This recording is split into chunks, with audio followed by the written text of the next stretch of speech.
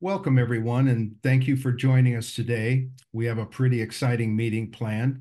My name is Bill Manning, and I'm a director, recently promoted to executive director of ASPI. A uh, quick footnote I've been on active surveillance since 2009, and I'm still a member of my local support group that got me started on this journey. Our purpose here is to educate individuals about options regarding active surveillance which is not a treatment, but a management plan. I would like to remind everyone that we are not anti-treatment, but anti-unnecessary treatment. So a couple quick housekeeping measures. We're going to hold all questions until the last speaker. You can submit questions in the chat box, which we will try to address after the last speaker. At that time, you can also click the raise hand button from the bottom of the Zoom window toolbar and if there's time, we'll try to call on you.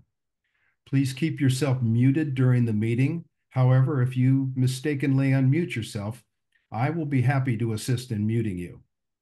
The speakers presenting here today are generously donating their time, so we want to be respectful of that. We are not here to dispense with any medical advice. Nothing said during these meetings by our speakers, ASPI, or the audience should take the place of your consultations with your medical professionals. Also, you do not need to feverishly take notes during the talk as this meeting is being recorded and will be available on our website in approximately a week. You'll get an email notifying you when it's ready. Also, if you subscribe to us on our YouTube channel, you'll automatically be notified when a new video is posted. Last item is watching the meeting. If you will notice in the upper right corner of your Zoom window, there's a button that says View. When you click that, you can switch between the gallery view, which is everyone, or focus on the speaker.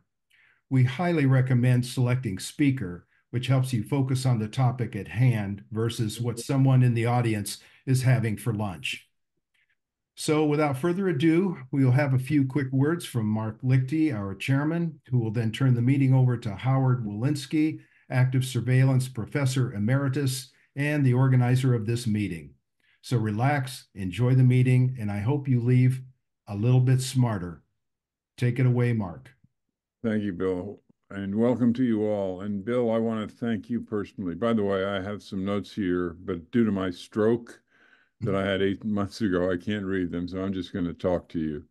But Bill, I want to say to you, uh, I approached Bill about eight months ago asking if he'd be interested after my stroke, asking if he would be interested in in uh, being the executive director, and he has indeed consented. So uh, he we have probably one of the best executive directors that we could find, particularly with his years of active surveillance. So we're so happy about that. And the the the program today is I'm I'm so excited about the program today because it fits right in with what we're about. We're we've we've been about trying to avoid overtreatment of prostate cancer and then over biopsying.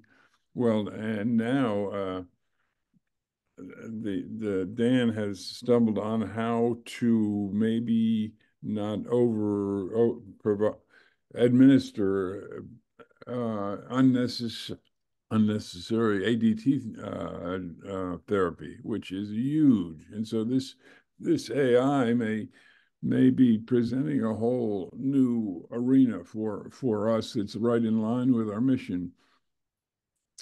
One other thing I wanted to mention to you too is last month, if you were here for the genetic webinar, I spoke about my disappointment with uh, Secretary Austin and the fact that uh, he had not uh, been forthright in disclosing his prostate uh, operation. We believe it was prostate cancer. And uh, and we sent a letter and asking that he apologize. And, and I pleaded in the webinar too that he apologize. Well, he did. It was an extremely elegant apology, and it's online if you're interested in his apology. Uh, it was a wonderful apology, and and two, his apology was important because he's a, an Afro American, and Afro Americans die twice as much as Caucasians, And so if he set a tone of speaking candidly of prostate cancer, other people uh, will see that he's a public figure and maybe he will open that up a little bit. That was our hope. And I, I too wanted to mention that uh, you know, ASPI does a lot of things behind the scene. I mean, we do these webinars, we do these these educational things, but we also do things behind this thing scene to to to move things forward in active surveillance because we're we're extremely committed to that. But in the end, we care most about you. We care because we've most of us that are on the board have reached a place of peaceful vigilance.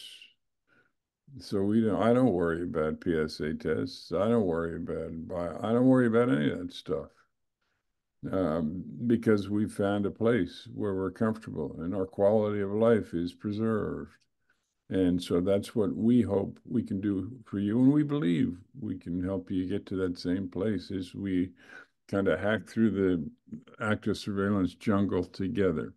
With those words, I'd like to introduce my dear friend, uh, Howard Wolinsky. And Howard, thank you so much for organizing this. This is going to be a fascinating webinar. Well, thanks, Mark, and welcome everybody, and special thanks to our speakers. Uh, our topic today is artificial intelligence or, or machine learning. It's affecting our lives. It's affecting your life, and you may not even know it. It's in the news every day. It seems like half the time we're being warned about AI and Terminators taking over the world and dire effects uh, damage to our personal freedoms or problems by a generation of inaccurate and even dangerous material. But the other half of the equation is AI, maybe sometimes too effusively, is described as a savior for humanity. In fact, it's probably somewhere in the middle, but one area where there's definitely advantages coming from AI now and in the future is uh, is in the medical area and even specifically prostate cancer, which is our focus here. In fact, a study came out this week in which British researchers using AI were able to identify a, a new form of aggressive prostate cancer that could make a difference in how the cancer is diagnosed and treated. So that's the future. So we're going to talk today about the future, but also the present. We're going to have a panel of experts. I'll introduce them in turn. Uh, but first, uh, we're going to start with Kirk Wojno. Kirk is a board certified anatomic and clinical pathologist who trained at Johns Hopkins. He's chief medical officer of Immunis AI in the Detroit area the company is using AI to develop an approach to help newly diagnosed patients decide whether to go on active surveillance or to seek active treatment. So, Kirk, I'll turn it over to you. He's also going to give a broad view of AI. So, Kirk, it's your turn. Yeah, thanks, Howard. Um, well, I'm getting my slides up here. Um, Again, as he said, my name is Kirk Wojno. I'm a uh, practicing pathologist for about uh, a little over 30 years now. Uh, I've been in the uh, prostate uh, space uh, for that entire time doing research. Um, and so when Howard asked me, um, he originally asked me to talk about what Immunis.ai is doing in the active surveillance space, which I'll do as the second half. And then a couple days ago, I think one of the other speakers dropped out. So he asked me to give an overview of uh, active surveillance. Um, and, and so I, I, I, took on that challenge. Um, and so for that part of the talk, I'm going to kind of talk about how pathologists are using AI today um, uh, in real time uh, uh, to make diagnosis and, and how that can help improve the quality of the diagnosis to help patients make better decisions uh, in active surveillance. Um, so where I thought I would start uh, so I, I actually uh, thought I would start with the uh, with language. Language, I think, has been one of the the key applications of artificial intelligence, and we're all familiar with it. Uh, you know, using Chat GPT, some of the Open AI things that are out there and you can ask it questions. So on the left, I'm not going to read it all to you. I asked it, what is artificial intelligence? It, gets, it gave a very eloquent uh, uh, summary for me over there on the left. Um, and so it, it, it's definitely making challenges, but I wanted to put this in the context of healthcare and explain where we're at and, and what, what's going on in healthcare and where we go with that. But just as a basic definition, what is AI? AI is a artificial intelligence or machine learning, as Howard said, and it learns from data. The more data you feed it, the better it learns. And now at some point, when you think it's learned good enough, you can kind of lock it down and validate it. We're going to talk a lot, a little bit about validation and how important that is to make sure you're getting uh, uh, good answers. I know in our pre-conference uh, banter, Howard was saying fact checking. Fact checking is like validation. So as a scientist, you know, we can let these model building algorithms build you know good models to recognize patterns. As a pathologist looking at prostate cancer it's one of the most heterogeneous cancers out there. There's many many different patterns and all have you know different subtle nuances in their biologic behaviors. And so the ai uses those patterns to make predictions predictions about biology and what's going to happen and you know how aggressive your cancer may be or how indolent it may be. And then that can help you uh, make clinical decisions. Um, and so the, the good thing about AI is we can put, you know, lots of different inputs in there. You know, you put all the clinical information in the AI and you can put, you know, biologic information in the AI, and then you can ask it to find, you know, optimal parameters to make the best predictions. Um, and then you can, you know, use regular statistics to make sure that whatever you've added to the standard clinical parameters is statistically better than what you started with. And so those are kind of the, the stepwise, uh, you know, process, um, you know, that we go do to.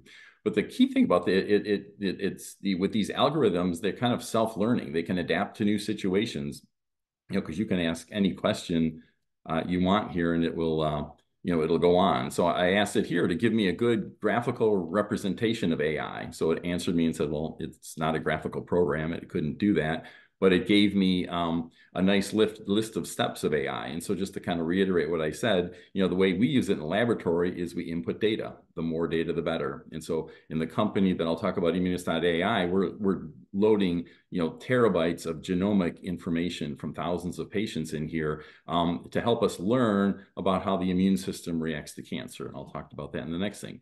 You know, so then we process it, we build a model, you know, we train the model, then we lock it down and then we try to validate it on independent data sets. Um, and so that's kind of the, and then, then you have a feedback loop. You can keep doing that. And again, I've been with the company for about 10 years and we've been doing these feedback loops, continue to learn, continue to refine our process that I'll talk about. But AI can continue to do that in real time. So I asked AI, what are some of the regulatory challenges that AI, you know, is going to face? And so it answered it very generally on the left.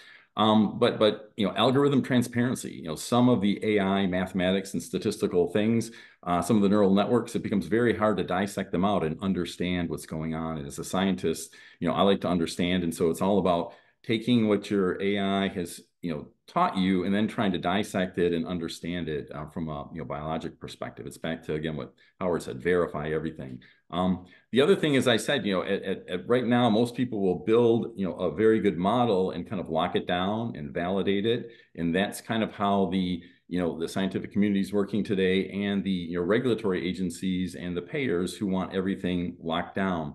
But the, the notion of continuous calibration and continuous learning um, and then using that continuous learning to make decisions uh, is one that I think regulators are, are being challenged by. And I think we're all as a community have to work together, you know, to find the best way uh, to handle this, you know, because the models that we've built, and I'll talk about our first product that'll be coming out here in the next couple of years.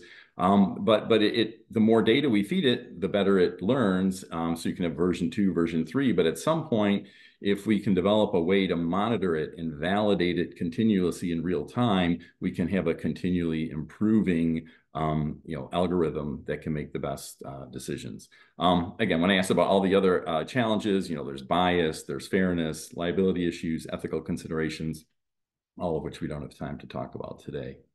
Uh, so in the in the uh, laboratory, again, um, I've been a big fan of digital pathology. I've been taking images of prostate cancer biopsies uh, since I was at the University of Michigan uh, in the 1990s. Um, and then from there have, have continued, you know, a lot of research here. And so in the laboratory today, um, on the left side, I'm not going to go through all the, the details on the right, but on the left side, you'll see a biopsy board, um, which is the best way to fix prostate needle biopsies. You know, uh, some urologists still put them in bottles of formalin and fix them, leads to overfixation and perhaps not the optimal molecular testing. Um, you know, but here on the on that biopsy board, the urologist will put the needle biopsy cores on the biopsy board, and so we use AI. Uh, we've trained it to recognize the biopsy tissue on the biopsy board, and you can see those multiple colors. Um, uh, you know, there, there, you know, the red, the orange, yellow, green, um, blue, and black. It, it's recognized the board. It's recognized the location where each core is placed, and it actually measures the cores uh, for us. Um, again, but we we validate this continually. Every month we do measurement validations to make sure it's measuring accurately, make sure it's accurately, you know, finding the tissue, you know, that we have. Um, and so, you know, it, we lock it down for a period of time, and then we, um, you know, if there's improvements, we move it on. Next, in the laboratory, we take it off of those biopsy boards and we put the needle cores in biopsy chips.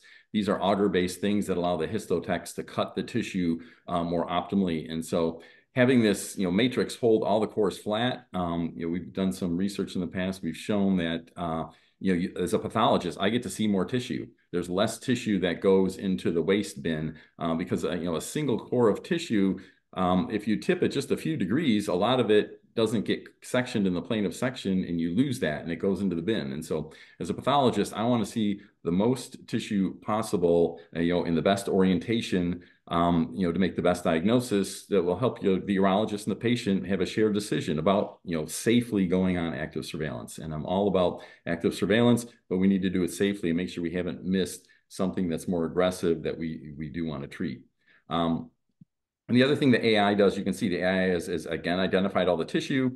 And if you look at that top right picture, you can see, I don't know if you guys can see my pointer here, but I, I use it anyway. You know, the, these agar-based chips have little dots, like little fiduciaries. The AI can recognize all this. We maintain the orientation of every needle core. See the little arrows here. And so when I, as a pathologist, do my work now on a computer screen instead of a microscope, it'll document where the tumor is along the needle core, how close it is to the capsule, how deep it is, um, and it gives us a lot of details. Uh, you know, so again, these AI measurements uh, are really helping us out as pathologists.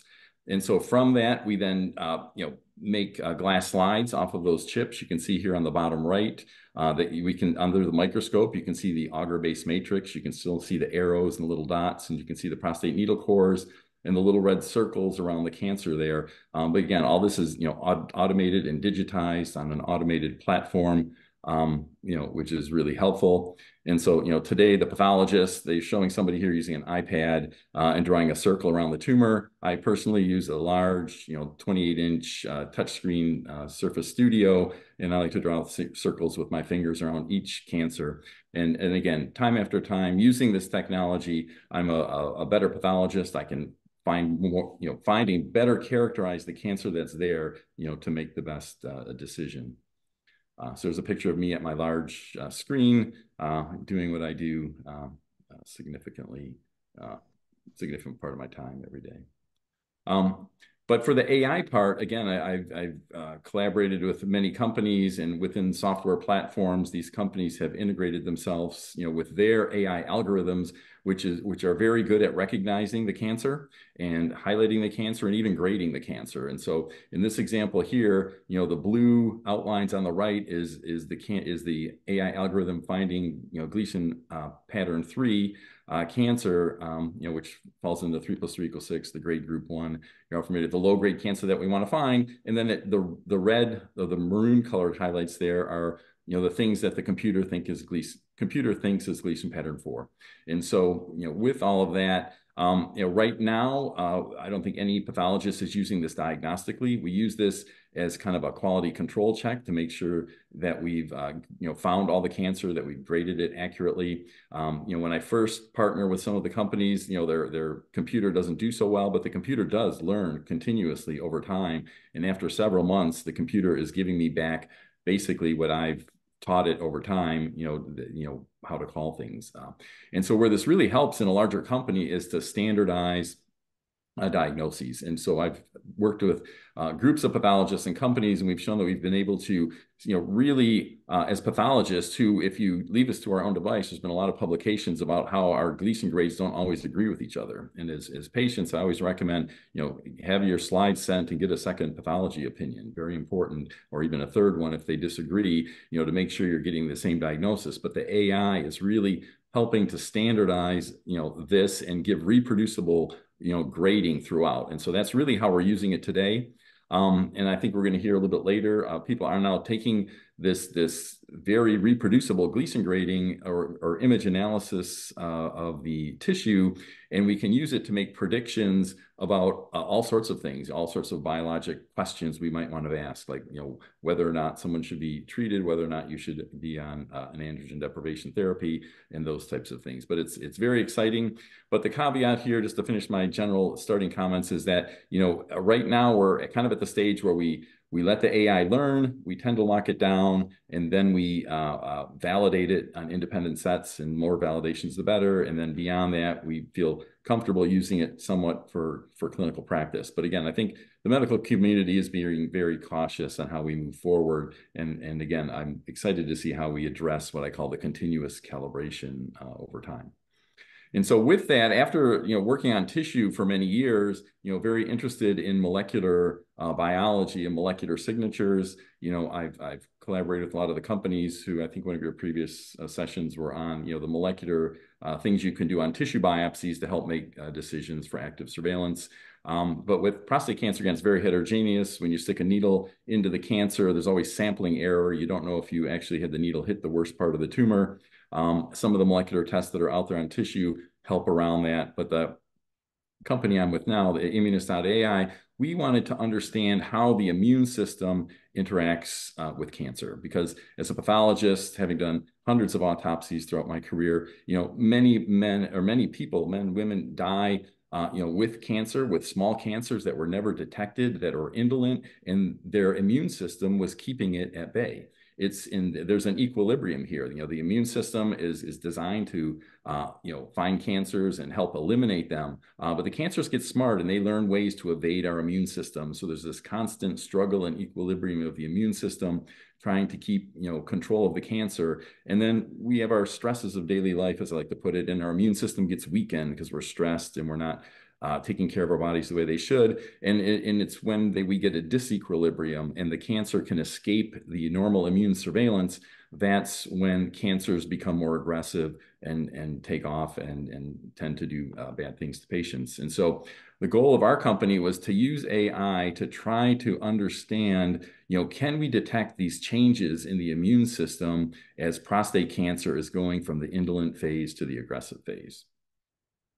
And so our, our platform does a lot more than that. Uh, we, you know, we think we can look at screening, uh, making treatment decisions, uh, you know, uh, and looking for minimal residual disease after treatment or radical prostatectomy. Um, but again, we're a small company. We've focused all of our efforts on active surveillance uh, for now. But you know, as we uh, expand, we hope to get into the rest of rest of these areas. And so um, I'd like to just give a little bit, and you guys are, are, are, all on active surveillance, so you're very familiar with the patient journey. So one of our missions is how can we help as a company to, to help this patient journey? And you know, you've all been in the scenario where you go see your urologist, you have an elevated PSA, they may order an MRI, you wait for those results, you come back, they decide to do a biopsy, whether it's a fusion biopsy or regular biopsy. Um, you then have, you know, they take the tissue out, they send it to the pathologist, the pathologist works it up. Um, he may, you know, then provide the answer to the urologist who then decides he wants some molecular testing done on the tissue that gets sent out and it comes back. So it can take, you know, quite a while and a number of visits to get all the data, you know, that's required. And so, um, and, and again, becoming a human pincushion over time, multiple needle biopsies, it's not a, not a pleasant way to undergo surveillance. And so hope of our company is to have a blood test looking at the immune response, how different aspects of the immune system uh, uh, uh, understand what's going on with the cancer. And so our, our system, we, we look at, we take a blood sample, we separate out pure populations of various immune cells, one from the innate, one from the adaptive immune system. You know, these have names and numbers, which are probably not important for this audience. And then we basically extract the RNA. That's the RNA is what ends up being translated into proteins. Um, and, and that's what uh, drives the you know biologic behavior of the cells. And so what we did with AI is took all of these you know 20,000 plus genes from two different purified cell types, looked at their expression levels from each gene at the two different cell types, um, and we uh, uh, looked at that together and said, you know, can the artificial intelligence help us to understand this and in, in a way that we can make predictions on biologic behaviors of tumors. Um, and so what we found is by looking at two different cell types and that are uh, looking at cancer in two different ways, you know, can the signals coming from these be used? And, and the AI algorithms taught us that, you know, looking at the two different cell types and looking at the difference of expression between these two uh, ways that the immune system looks at cancer were very valuable. Um, and so we were very excited about this. We wanted to go into the active surveillance space. Um, you know, we we know that there's lots of issues in active surveillance um, for the patient experience I just talked about. You know, the compliance with follow-up biopsies is is not um, you know always adapted. But but are all these follow-up biopsies necessary, and can we find a better way around that? Um, and, and but as as one of the other speakers said, you know, it's really um, understanding uh, that and, and, moving forward. Uh, in essence of time, I'm, I'm not going to talk about the tissue molecular test. I think you've heard about that probably at previous concert, uh, previous um, uh, uh, sessions here. And so what we did is we uh, we have two publications out. This first one here was in Cells um, in 2021, and we just have another paper out in the Journal of Urology that's um, out electronically ahead of print, which I'll talk about in a minute in the Journal of Urology issue this month. Um, but we first asked the AI, you know, can you identify aggressive cancer? If we take a blood sample and then follow it up with a biopsy, can we train, can the AI train to recognize these gene patterns in two different cell types uh, that can um, uh, predict aggressiveness of cancer. And so we did that, you know, the, uh, the machine learning, it learned very well. Um, you know, the statistical numbers down there, um, uh, area under the curve kind of complicated statistic, but it, it, shows how well you know the the model does at predicting aggressive cancer. You know, it did very well. We trained it with the number of samples we had. We had a thousand patients again with twenty thousand genes, um, and and the two different cell types. Which you know, from a mathematician standpoint, it, it's um, there's too many variables and not enough patients, and so this is where machine learning and AI really helped us out to try to fit models without overfitting them that would give reproducible results going forward. Um, and then we know going forward, the more samples we can give the AI solution, the better it will do. And so, you know, that was on a non-active uh, surveillance type population. Next, we wanted, we decided to say, take that base knowledge, you know, can the artificial intelligence be trained to ask a, a, another level of question, which is, you know, uh, is it you know safe or appropriate for men to stay on active surveillance? And so, you know, we used a, a surrogate active surveillance population for this study that's uh, coming out um, in the March issue of in Urology, um, where we were able to use 107 genes uh, in a sophisticated model with you know different weightings, um, and these genes were complementary to the clinical variables that we already have. And we we took a lot of time in both of these manuscripts to show that you know that the what the artificial intelligence and the genetics was uh, uh, showing was additive uh, to the uh, clinical information that uh, we already uh, have and use today. And, and that's letting the AI build a better model for the clinical information. There are clinical algorithms out there that people use, but often urologists use their intuition to make these models. And so again, this is another place where I think AI can really help. It's taking those standard clinical variables that we all have today, making our best predictions based on what it has learned, adding any other evidence that you have available, you know, molecular genetic evidence, immunologic evidence like we have here, and then looking at how AI can make the best predictions. And so, you know, in the end of the day, our, our platform, you know, puts out a risk score that separates men into very low risk, you know, low risk men have the same uh, risk that they had when they entered active surveillance, and then high risk men who should not be on active surveillance uh, based on this. Um, and so here, a lot on this slide, but just at the bottom, I put some, you know, clinical vignettes. I'll just go through very rapidly to put this kind of in context of what's happening today. 60-year-old gentleman with a Gleason grade group one cancer on biopsy with an increasing PSA over a two-year period from two to 5.7, who has not had a repeat uh, biopsy at that time. Uh, his DRE was negative. Um, you know, he had our uh, blood test looking at this immune response, and the AI uh, was predictive that he was, even though his PSA has gone up, he's still at very low risk uh, and could uh, stay on active surveillance. at the other end of the spectrum, and again, another 60-year-old, Gleason grade group one cancer, PSA stable at five over this time period. PSA densities is somewhat elevated when he started active surveillance, and it hasn't changed. It's still where it is, you know, two years later now. But our risk put him at the very high end of high risk. You know, his cancer was evading his immune surveillance system and becoming aggressive. So, just to summarize here, in the end of my time, um, the our um, you know our test, uh, our goal, uh, we're running some clinical uh, utility and clinical validity studies later this year. Uh, uh, and so our test is not commercially available yet. Um, at, at, a little bit later this year, you could enroll in one of our clinical trials uh, where the test results as research use only would be available to your clinicians. Um, and, and the questions we're trying to answer is, should a patient enter active surveillance in the first place? And then if he's on active surveillance, should he remain on active surveillance? Um, and or should he, has his cancer now progressed or changed or evaded his immune system that he should exit active surveillance? So I know I talked a lot. Hopefully I stayed within my 20 minutes. Um, and thank you very much for your attention. And I will stop sharing so the next speaker.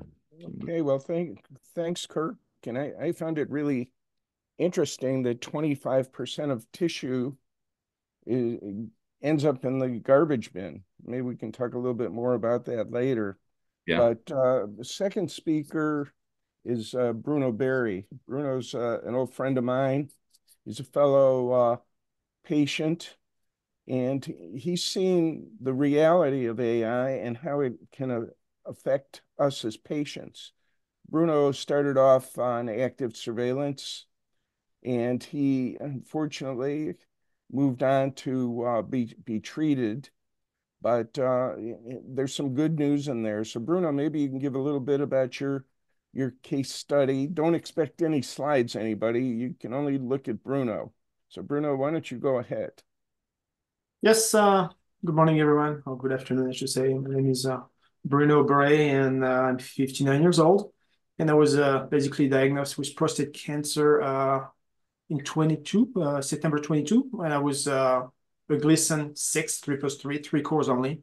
Uh, so I decided back then to stay on active surveillance. Uh, after six months, uh, I went for a fusion biopsy. And uh, fusion biopsy basically detected 16 core with all affected, basically 12 at 3 plus 3 and uh, the other three at three plus four. So uh, active surveillance was pretty much no longer an option for me, and I had to uh, decide it for a, a, treatment option. And uh, this is where I went to uh, uh, multiple places, and I was looking for multiple opinions. I was looking for surgery, brachytherapy, um, immunotherapy, radiation, all, all kind of options available at the time. And so I basically decided to go with SBRT and uh, with the use of AI, basically. I was looking for a, a treatment that possibly uh, give me a, be better quality of life. Uh, of life. Uh, I don't want to have any side effect, or at least minimize all the side effects. And so I uh, decided to go uh, in Cleveland at the UH hospital, where I went through the, the SBRT treatment with AI. Uh, and AI, my AI test actually basically put me in a low risk, and I was avoiding ADT uh, with that test. I went through uh, the treatment. It's been six months. Uh, I got nothing bad to say. Treatment went well. I'm very well. I basically have rare, very, very basic side effect, but uh, I'm very happy with with the, the treatment so far, and uh, I'm glad that the AI uh, basically uh, helped me to avoid ADT. Uh, so that that that's my story. Uh, I've been six months now uh, after my uh, treatment, and so far so good. Doing okay, doing well. Well, thank you, uh, Dr. Spratt. well, Bruno, thanks for sharing your story, and maybe we'll have some more questions for you later from the patient point of view. As it, as it, as it happened, uh, Bruno's doctor in the end was Dr. Spratt. And so I'll give you a little rundown on, on Dan. He's chair of radiation oncology at University Hospitals in Cleveland. And he ordered uh, our Tira AI system. He says that two thirds of men um, making the transition to radiation from active surveillance or just straight on can now avoid ADT and, and its side effects. So Dan, why don't you tell your story? Great. Well, thank you guys. It's a true pleasure to talk to all of you, and it's great uh, to see many of you. And Bruno, I'm glad things have gone so well for you, and goal is for them to stay that way. So I'll, I'll give you guys an overview just from my perspective on uh, AI and prostate cancer and current state. I, I don't consult or get paid by the companies. The I run a these are mostly all clinical trials I help run around the the world. So I said this actually earlier, but I think the goal is of a physician is to improve the way a patient experiences life. Now, there's many ways, and that's why you know we talk about shared decision making because what is important to one man may be different to another man.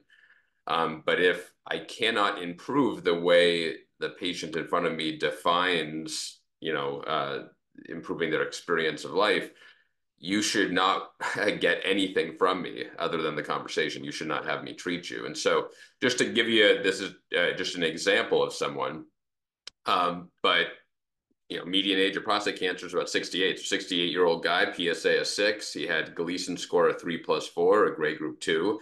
And, you know, more than half of the biopsies taken did have cancer in them. Um, MRI showed it was confined to the prostate, and uh, he was able to get a PSMA PET scan. That's a type of PET scan that scans the whole body, and it, it no evidence it had spread anywhere. And so, this, by our national guidelines, um, we created this definition back in 2013, back when I was at Memorial Sloan Kettering. Um, it's called NCCN intermediate risk, but unfavorable intermediate risk. And so the guidelines to ultra simplify it that we've taken this massively heterogeneous disease and we've said, okay, we're going to put a one size fits all approach. You can do radiation with a short course of hormone therapy, or you can have surgery. For this patient here, it's about a 40 to 50% risk of recurrence and needing salvage or post operative radiation therapy. So when we talk though about prostate cancer, you know, we have three standard of care main options we're always talking about. Um, and we know from randomized trials, so level one evidence, that the oncologic outcomes, how long you'll live, the cancer spreading, the cancer dying for low risk patients and low grade patients is the same. But we know that any treatment, even as precise as radiation has gotten, it still has the potential for side effects. And so that's why we strongly prefer active surveillance. I don't treat low risk cancer. For intermediate risk, once you're Gleason 7, um, you know, we now have randomized trials showing that the cure rate is the same, whether you choose a surgical approach or a radiation approach. There's far less incontinence um, and erectile dysfunction with um, modern radiation, but there are some potential advantages for certain men of having surgery. But we still don't have good tools to tell us what to do. And then what about this whole thing of hormone therapy? I don't want to just say hormone therapy is bad because it has been shown to help many men live longer and prevent or reduce their cancer from spreading. So it has a role, but it also has a lot of different side effects that affect each man differently. Some of them are metabolic on the right, like body fat uh, tends to increase. You can have some increase in blood sugars, blood pressure. You can lose some muscle mass. On the left, you know, whether it's fatigue or loss of libido or sex drive, hot flashes. And, you know, some guys, this actually minimally bothers them. Some guys, this bothers them tremendously and is a major impact in their quality of life. So the way we personalize it today, most commonly around the world, is this Gleason system. This is Dr. Gleason from the 1960s who made this system and drew, um, you know, these patterns he would see under the microscope. I mean, zero, this, none of this is intended to criticize Dr. Gleason. This is absolutely remarkable. But we also must just recognize that this is like, think of what a car was or a computer was or in 1960 versus what we have today this is very archaic when we're talking about a very personalized system to tell men how to get treated.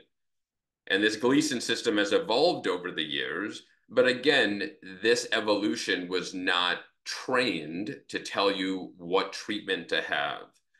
It was trained more so of more accurately binning patients. And so it's not surprising that I'm going to show you this system is not very accurate.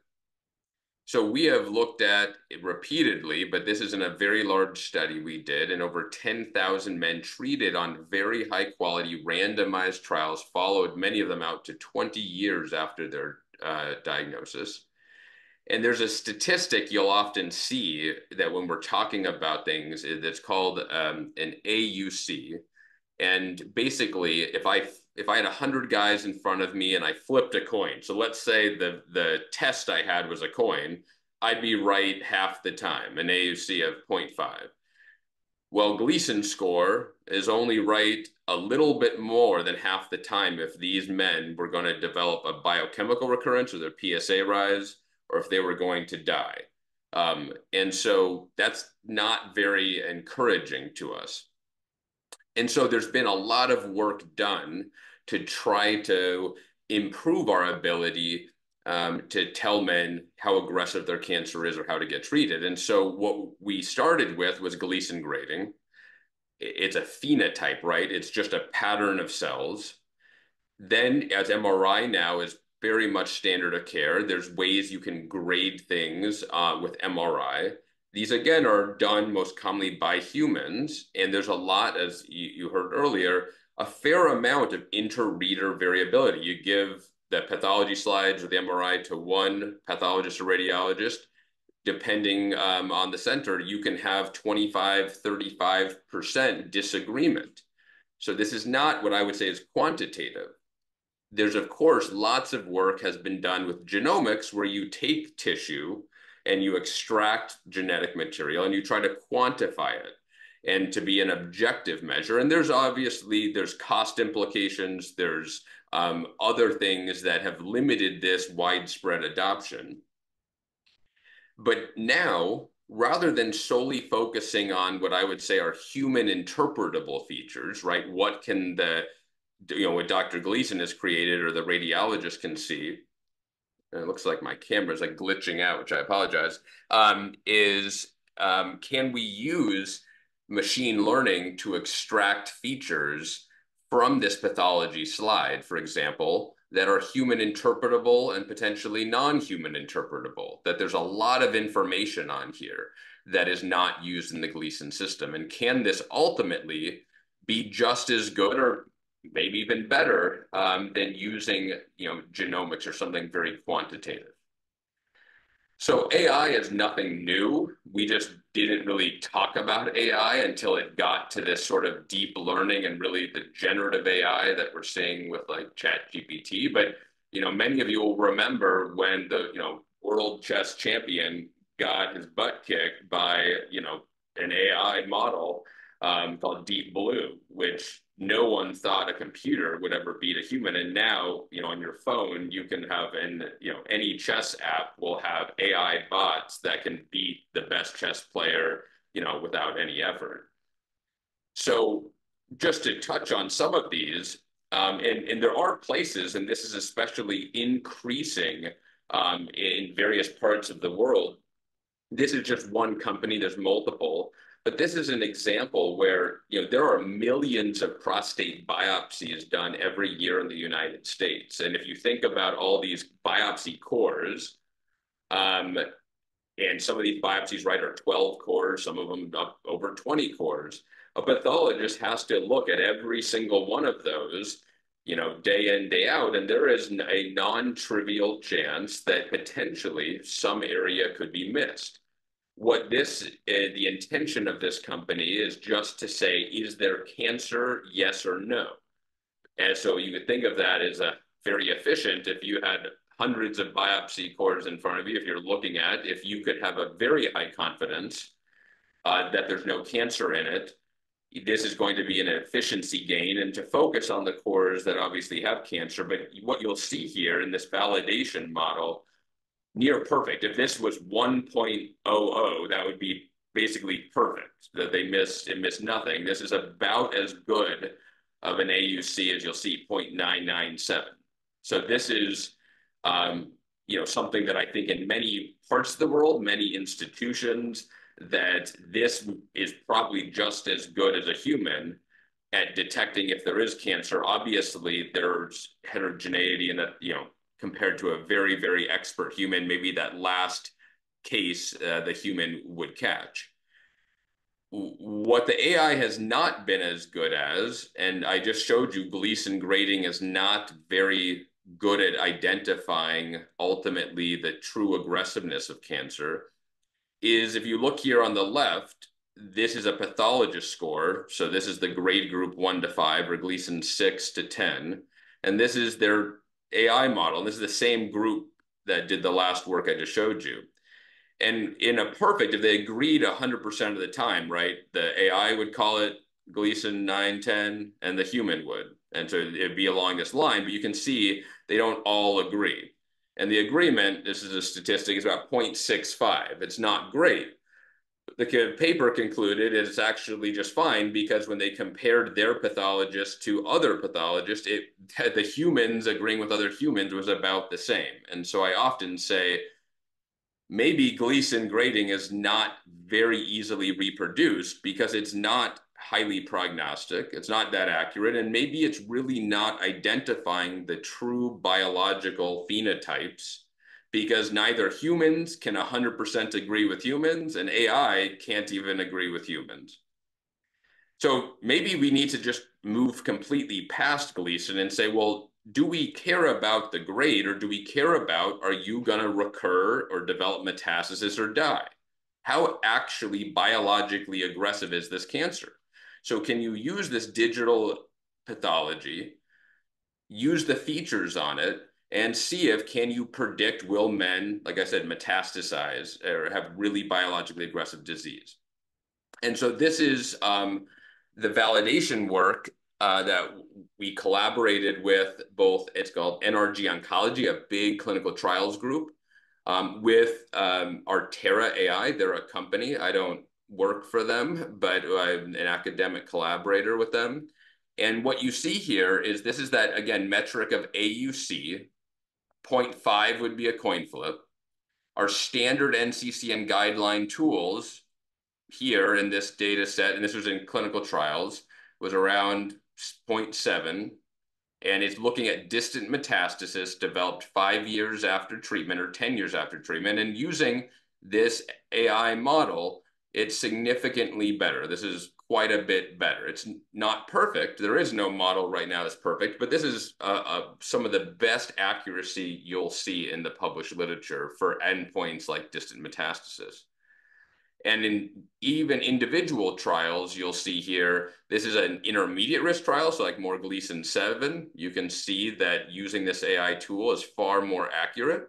And in a trial of more high risk men, still far more accurate and sometimes what's very you know jumps out at you is this what i'm going to show you is a group of people of patients that are all high risk okay? So these are all high risk patients. And i think robert you're drawing on zoom you're annotating my slides which is totally fine i'm just letting you know is um, if you were to look at these high risk men okay that have gleason scores you know typically 8 to 10 if your Artera a lower score, this AI model low score, you only had an 8% risk of developing metastatic disease.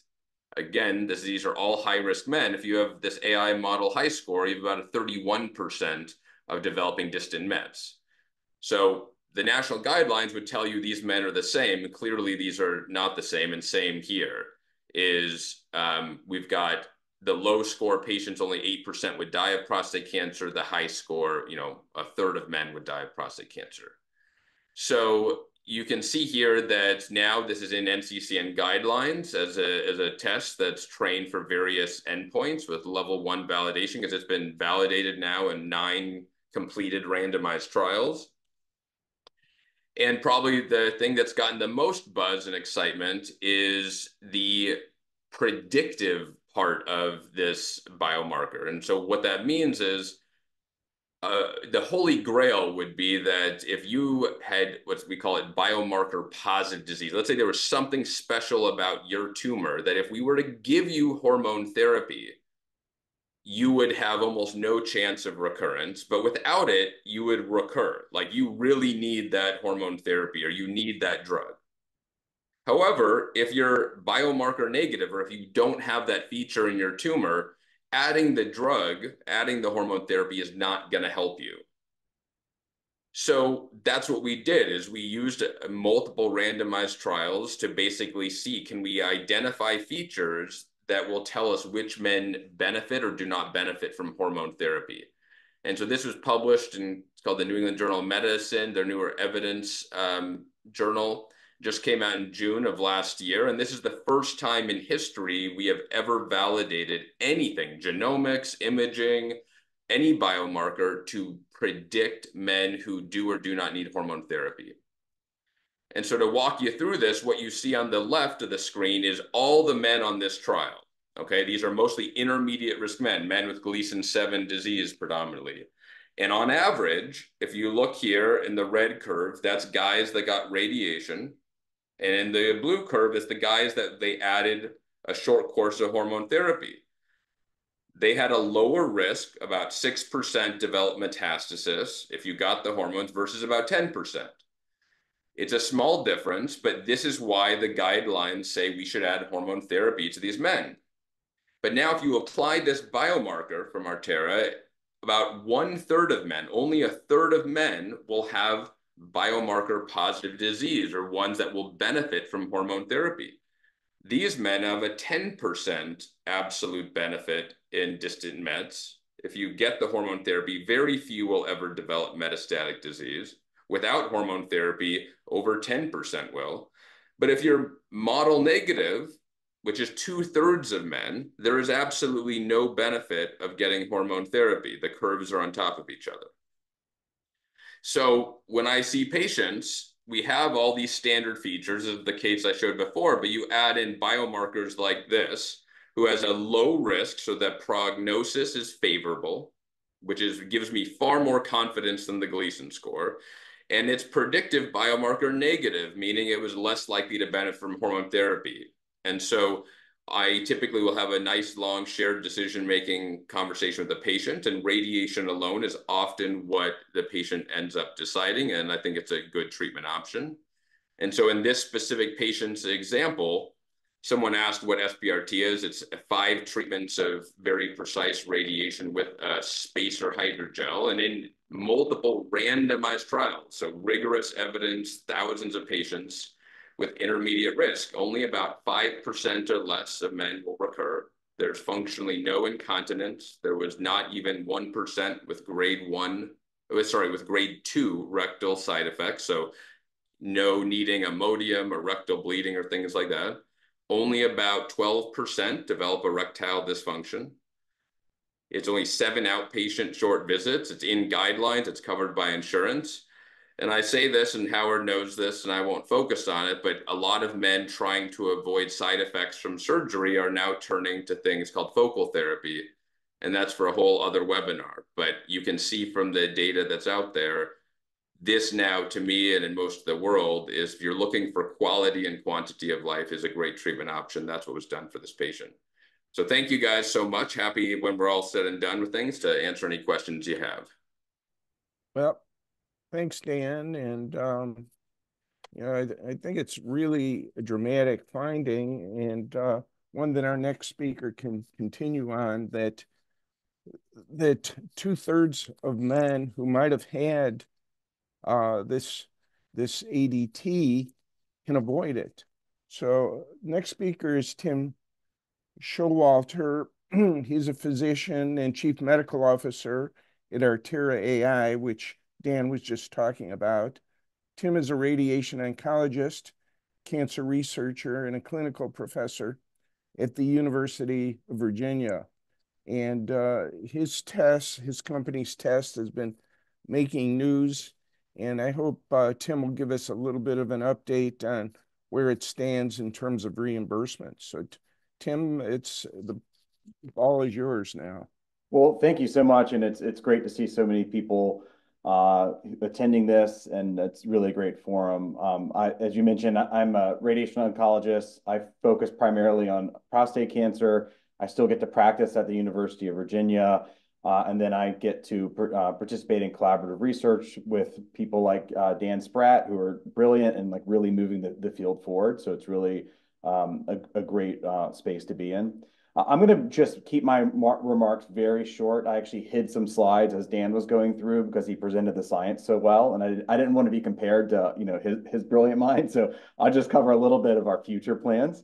Uh, and uh, so first of all, just for a little bit of context about what our company's mission is. So Artera AI is is really focused on uh, taking uh, digital pathology images. So we typically are working with um, research specimens when we're developing tools uh, that are H&E stained biopsy slides. So these are the sort of materials that are, are just uh, developed as part of uh, diagnosis and they're included in, in, uh, in clinical trial uh, conducts.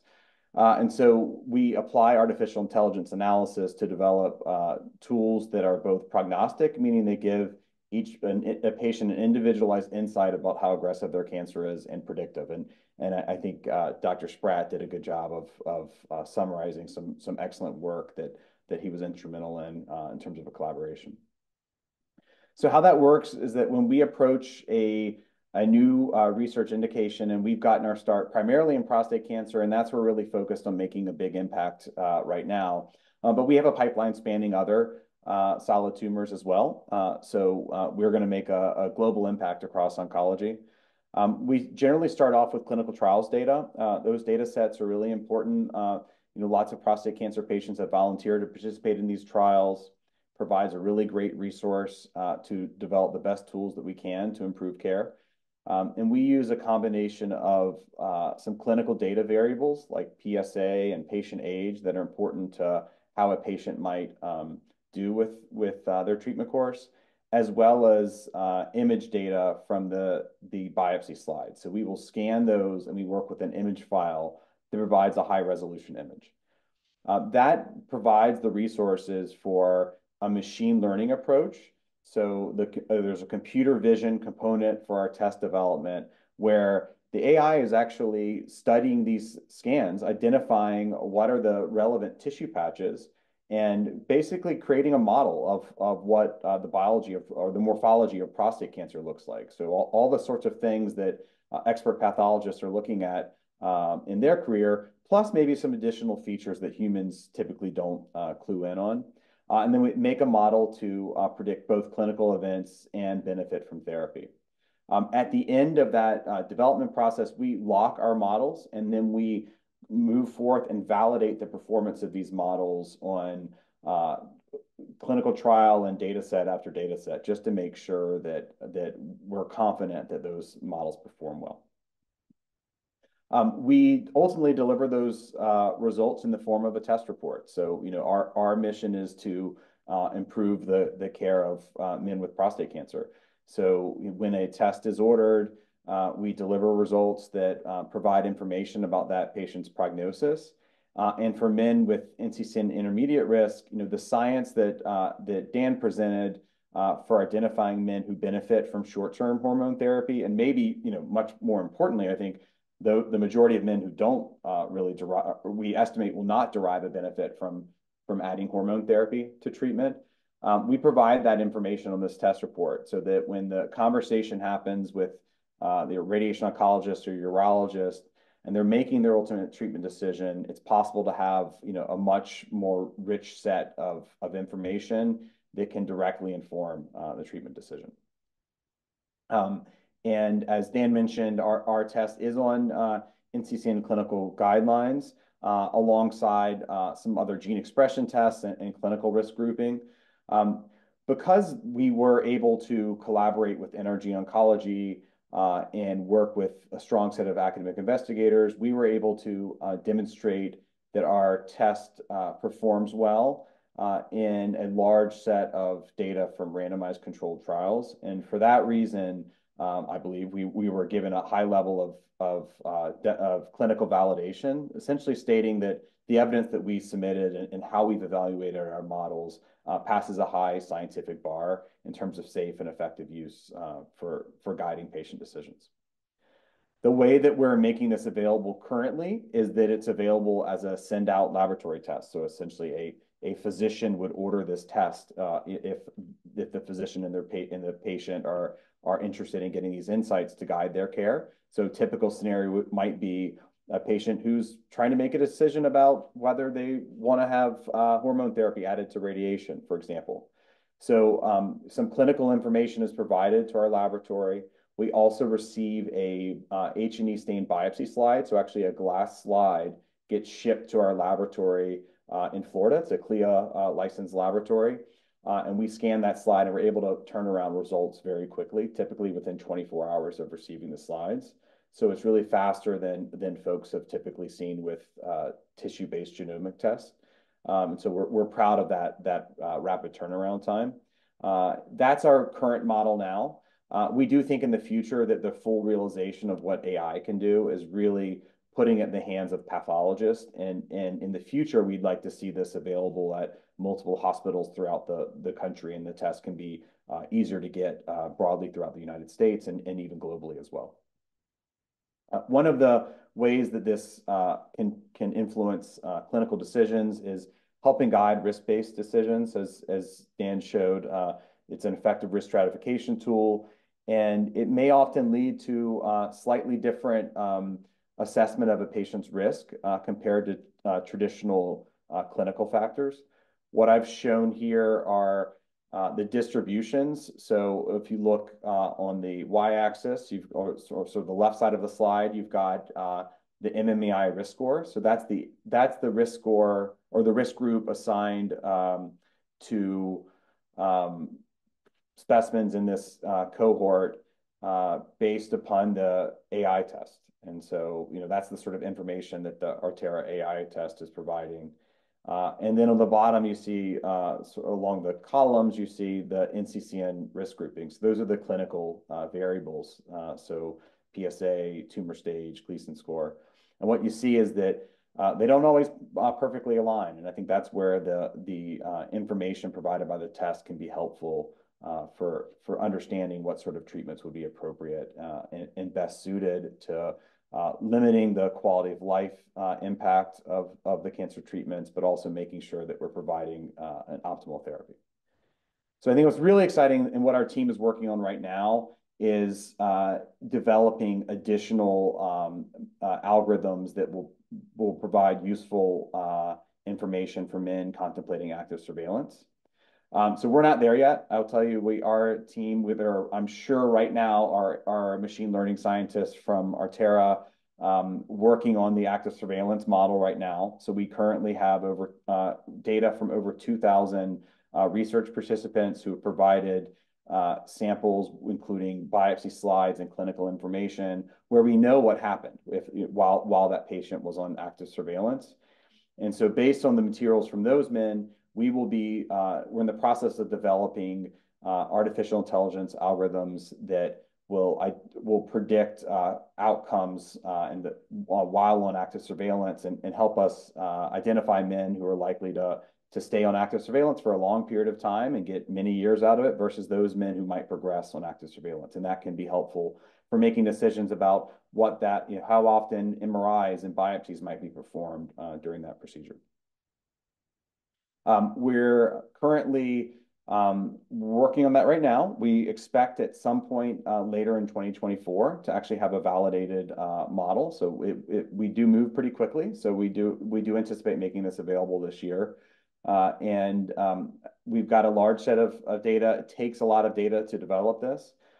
We plan to provide information about Um, uh, identifying uh, those men who are going to have uh, an upgrading of their Gleason score over time and to predict what the likelihood of adverse or or you know high-risk pathological features at time of surgery might be for those men who go on to prostatectomy. We also want to do a good job of, of having a biomarker to identify the large set of patients who really are, you know, can go on for years while on active surveillance because we think that's a really valuable tool for for many men uh, faced with prostate cancer. So I will stop there just to, to and I realize a lot of this is forward looking. Um, we have our current test, which provides individualized information for, for prostate cancer. Uh, and I think specifically to this group, I probably honestly have more exciting updates to offer in a few a few months from now.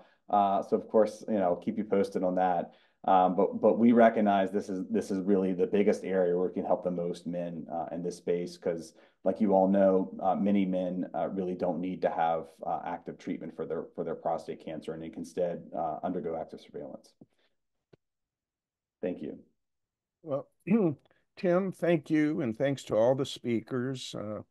I appreciated Tim the message about the benefits of active surveillance. And um, now I know there's been a little bit of activity going on in the chat box. I've been too focused on the speakers to follow that. But uh, I am going to take advantage of the fact that I organized this to ask a couple of questions, and then maybe we can open it up. Um, but, you know, one of the themes that I picked up on, two things. We're talking about a different kind of replacement theory. Uh, will Gleason scores be replaced? And so, uh, Bruno, you don't have to feel obligated to answer if you, unless you want to, but I'd like to hear from, uh, you know, the doctors. Do you really think the Gleason score will be replaced, and how long will that take? And and I also wonder, will pathologists be replaced? Will this just be automated like so many other so many other tests are in medicine. So, you know, any one of the speakers can pick up on that. Kirk, I think you're talking, but we need your your mic.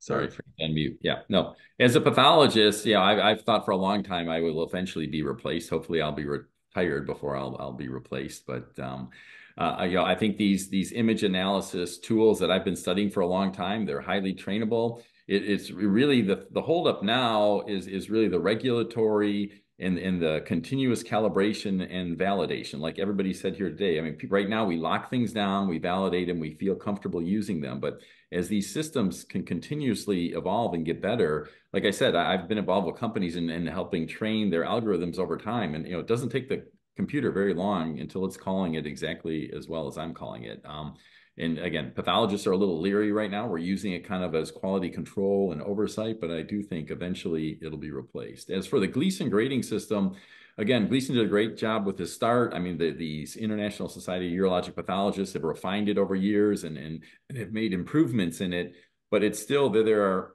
it's so heterogeneous that i think the computer eventually can do a better job than we can and it'll put it into better buckets um, and and better predictions and, and, again have large data sets. So uh, again i can't predict how long that'll take but i, I do envision you know the computer reclassification will occur. You know kirkley it's is sort of a transition to the future. Mm-hmm. um, what role can ai play in between? In other words will it be potentially a, a screener, you know, sort of a first opinion, and then it moves on to the pathologist or uh, yeah, yeah, I've, I've, seen. I mean, today people are using it many ways. Either using it as a screener, and then it goes to the pathologist, and I've seen them using it at the back end as a quality control. The pathologist sign out all their cases, and then they, then you know they're like held in a bin, and before they're released out to the doctor, the AI takes a look at it, make sure that, that the pathologist didn't miss anything, and and it's a great you know quality control tool you know, to do it like that. And then again, as I said in my talk, for as at least as far as standardizing grading, I mean, it, it, pathologists, I've seen studies even worse than what were quoted. I mean, I think expert pathologists, the one study I was involved in with a bunch of experts several years ago, I mean, it was like we agreed 43% of the time. I mean, and you're talking about people who, you know, the person who trained me and other people, all these experts, but we still disagree. But whereas the computer can, the computer always, what I think Dan didn't show or someone didn't show is that the computer agrees with itself all the time. That there's where you get the perfect agreement. So, um, you know, com computers can't agree with humans because we keep changing our mind from I call it Monday, Tuesday. It's different on a given day, but the power of the computer and the AI is it'll call it the same day after day after day. So. I just have one follow up uh, to to what you what you were saying uh, in in terms of the miss rates and I think Dan kind of got at this too, you just did now. Uh, and I, you know, not just for pathology, but also with MRIs. Is there an agreement on what the miss rate is? And maybe I'm not using the right terminology. Is it false negatives, false positives? You know, so.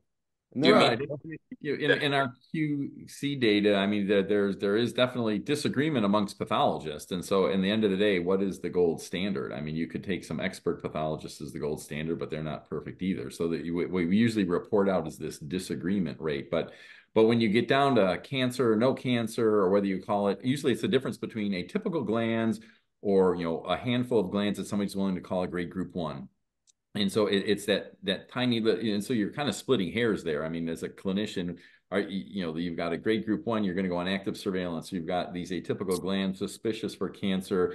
You're probably going to do something similar to active surveillance or continue to look for something there. You know that you're you're splitting hairs about what's agree and disagree from a cancer no cancer perspective. But i do see the ai from what i've seen can help pick up those small things that were otherwise missed. But then in the context of active surveillance, the treatment's not going to likely be able Well, well, yeah, I was looking for like a percentage. You know, what what is the what is the miss rate? Dan, do you? Depends, Howard, who's doing it and where, right? Because I, I think 80% right of patients are treated and diagnosed in various community practices and if you were to go to a big university hospital setting it's going to be very different. And so to me one of the big i mean the fact i would say kirk here is being if you were to talk to a bunch of um, university pathologists, you'll, you'll see a dichotomy, but some will say there's not a chance no one can replace me when the studies we show um, are just kicking the crap. And it's not just pathology, it's in radiology and my field in radiation oncology. But I, I view these tools as, you know, Kirk as a pathologist is helping train and involved in this next generation. So that whole saying that AI won't replace whatever pathologist, it's pathologists who refuse to use AI will be the ones replaced. And so I uh, use the analogy of a typewriter versus Microsoft Word. Microsoft Word gives us little squiggly lines under all our misspellings and auto checks things as we go. It'd be archaic to use a typewriter.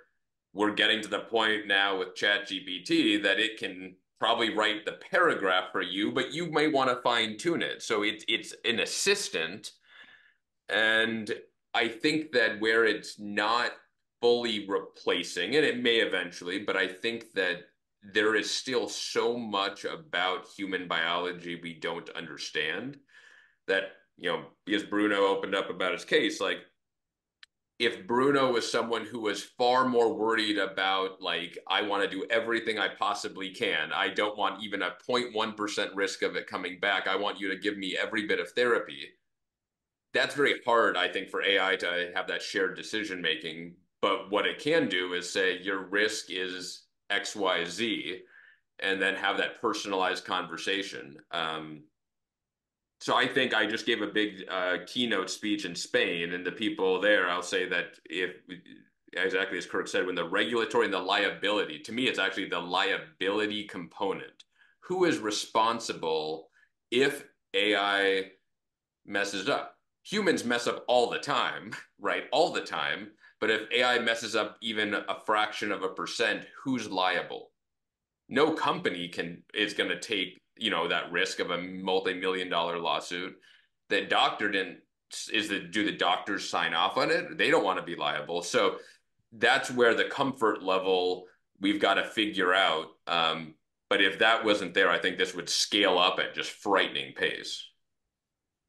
Well, I, okay, now I know that we plan to quit at 1.30 Eastern, but uh, we need to open up the floor, and I don't know if Jeff or Mark or, or Bill are monitoring the chat. Are there questions that you want to bring up from there?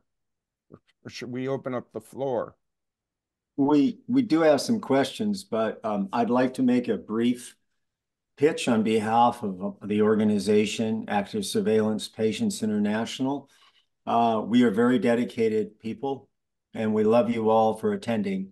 But in order for us to continue, we would love you to make some donations. Now, I'm holding in front of me a wonderful ASPI mug. If you were, Hey, I didn't see this commercial coming, guys, well, going. you know what? Uh, We live on money, Howard. I'll be very brief. But anyway, uh, please make a donation if you feel like it. There is a donation uh, button on our website.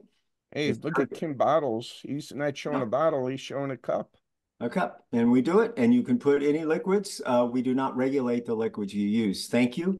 Although I, if everything I see does not encourage alcohol, so, I didn't say alcohol, it could be kombucha, in which case be careful. uh, but what about some questions from, uh, the chat Yeah. room? Yeah, I, uh, I have a question here. Uh, it may have been answered, but I'm going to ask it. Uh, Ashtush asks for an online tool to self-diagnose. Uh, I think Dr. Spratt may have covered that, but this is the one question I'd like to provide. Not everybody was, I wasn't able to follow the, the chat room, so Dan, Ashtush, did you get your question or Dr. Spratt? I mean, the question read that, you know, let's say you guys, as you're tracking yourself on active surveillance, or let's say you've had surgery and you have your Gleason scores, your PSAs, like, can you plug that all in and some, like an AI algorithm tell you what to do? I, I, to my knowledge, um, most of the online platforms you could even potentially do that are are supposed to prevent from giving medical advice. Um, I, I think for that whole liability thing we just talked about, uh, I don't think that I'm aware of, and I'm curious if Kirk or Tim know. I, I don't know of anything that would give you medical advice what to do.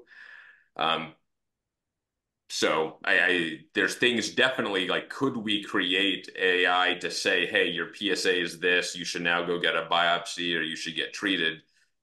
Yes, but I think still there's this element of shared decision making with patients that each of you have different preferences. You could probably get to the point where it could get that information as well. There's, you know, I fully believe, but I don't know what company would be willing to give you advice and then get risk being sued.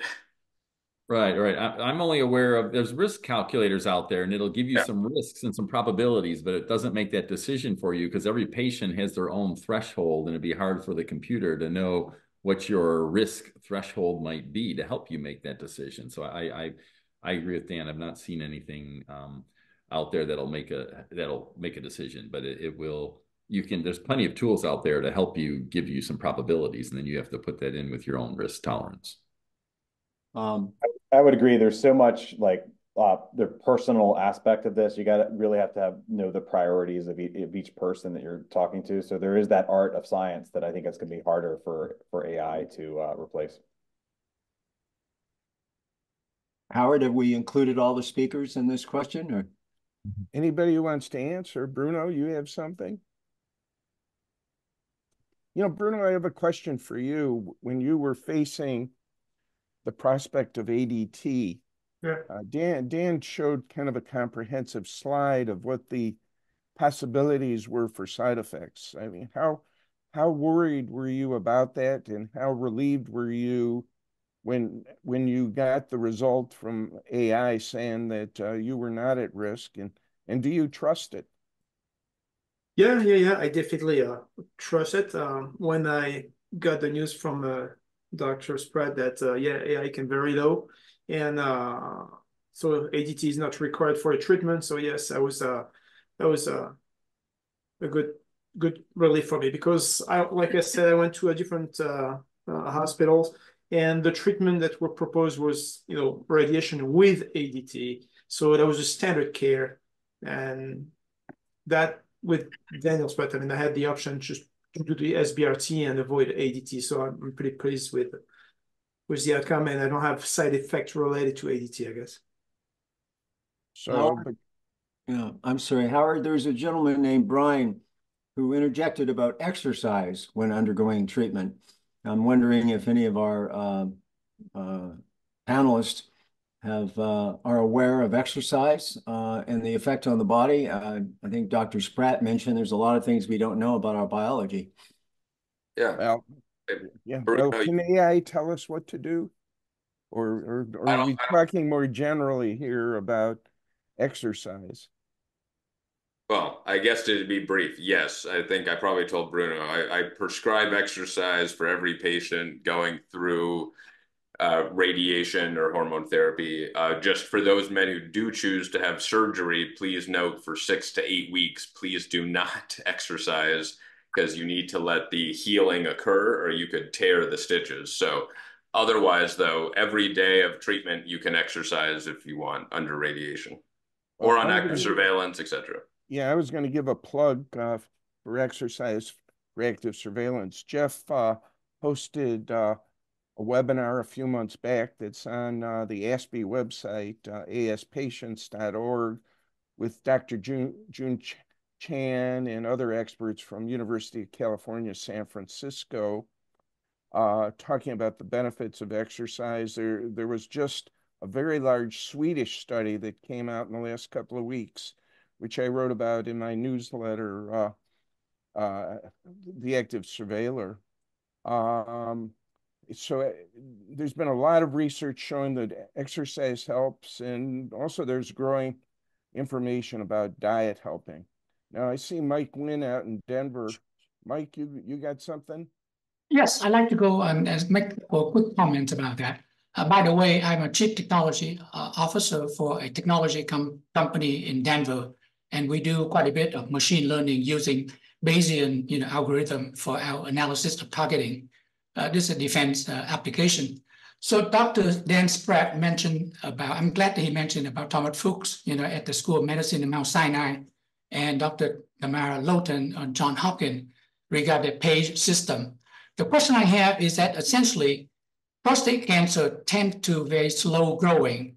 So how do you plan on doing verifications using either medical oncologist, urologist, or pathologist, looking at the slides and it takes five years or 10 years before the predict value can be verified. That the first part of the question. The second part of the question is that how is the AI system that you are, working on compared to nomograms that are available online nowadays?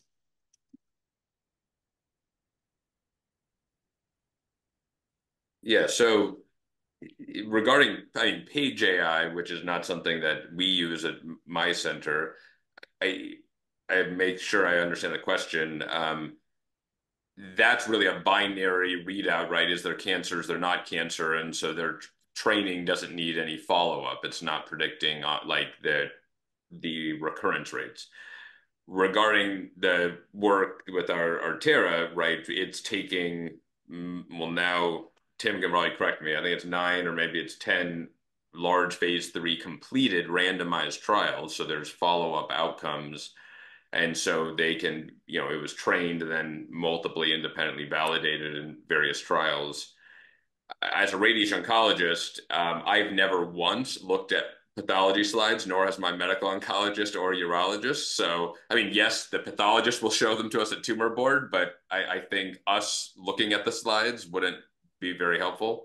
Um, so I, am not sure if I'm addressing the question you you have exactly. How does it compare to nomograms? Oh, yeah, so we've compared it to our the standard. You know, so most of the clinical tools actually. Uh, we're submitting something to a conference right now for this is a surgical cohort, a big randomized trial called the Punch trial. Dr. Eastham from Memorial Sloan Kettering ran, and things like your the the pre pro all the men had prostatectomy, the Gleason score, the PSA, the T stage systems like Capra. Capra is a system that combines a bunch of these variables together. The surgical features, margin status, T stage, the AUCs for all of them in a randomized trial, right? So it's it's not retrospective. Um, it, none of them got above 0.65, the AUC. So it's all pretty poor. And even the Memorial Sloan Kettering Kattan nomogram was fairly poorly calibrated, um, we showed. And so I think the available clinical tools are frankly just not very good. And it's, we, that's why I think we've over treated men with prostate cancer for decades is because people hear, you know, people say, oh, I have a Gleason I think we'll find in a decade there's Gleason sevens, and I bet you there's Gleason eights. We will do active surveillance on in time to come. Um, and I think we've put so much weight in Gleason inappropriately because Dr. Gleason never ever said, I've trained this to tell you who to do surgery on and who to not treat. That's not what the system is. It's just how the cells look under a microscope and phenotypes and patterns. So, you know, I, would like to pick up on what Dan said. I was on a panel. I was the first patient uh, to be on a program uh, with uh, American Society for Clinical Oncology. Uh, I have to tell you, they forgot me, which really pissed me off. And so I had to uh, grab the mic to get into the discussion. But uh, Dr. Freddie Hamdy, I, think Dr. Hamdy from UK, who's headed a lot of these major trials, said to me he after the program, he told me he saw the future of active surveillance is not with the low risk guys. He feels that eventually they're going to get better at diagnostics, and guys like many of us will never even be diagnosed. We'll just go about our lives. He saw the future of active surveillance being in, the Gleason sevens, and now Dan's a, adding the eights. So, if I'm hearing you right, Dan, am I hearing yeah. you right? I mean, just to say, there's an old trial uh, done 30 years ago. So this is like before the PSA screening era. It's called SPCG4, and they took low to high risk men, and they did watchful waiting versus surgery. And if you look at the guys with high grade tumors, and this is again way more aggressive than modern day high grade tumors that were on watchful waiting 20% of them never developed metastatic disease or died of prostate cancer, and they've been followed for 30 years. Mm. And they have Gleason 8 to 10 tumors. So clearly, there is biology that, you know, and if you were to tell anyone when I was in training, if you have Gleason 8 disease to watch it, you're insane. I'm not telling any of my patients with Gleason 8 to watch it, but I'm, what I'm saying is, is I know I am over treating men, and we need these tools to figure out who doesn't need treatment. Yeah, I would just echo the, the pathologist that that again, I've seen cases throughout my career. You know, the morphology is not the be all end all. Like you said, Gleason didn't calibrate or, or validate this to make those predictions. There are you know, uh, you know, cancers that morphologically may look like a Gleason eight to me, but they behave very indolently. We we just don't understand enough of the biology. Some of the molecular tools, you know, can start to help out. You see the discordance between a Gleason eight and a in say a Prolaris or, or a Decipher that's showing it's a very indolent tumor. We we see these all the time, and so it, it's it's it's a work in progress, and the the morphology is not the entire answer.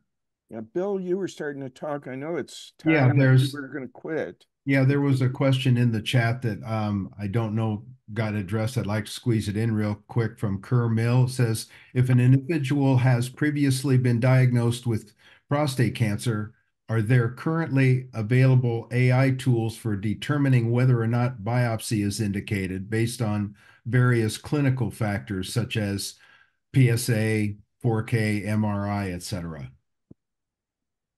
And that's right, Kirk. I mean, that's some of what I think someone asked Kirk, how do they enroll in your trials or like when that's ready? But I think that's the test Kirk talked about once it's, uh, you know, ready to be deployed.